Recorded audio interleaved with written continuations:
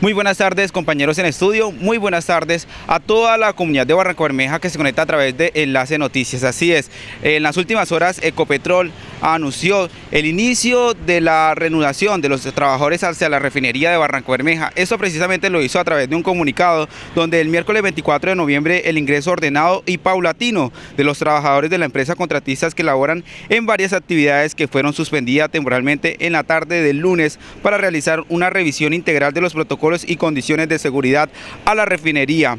Las actividades que se reanudan están relacionadas con las paradas de plantas de la unidad U200 de refinación de crudos y cracking, así como el proyecto de actualización de la planta de tratamiento de agua residual Espetar.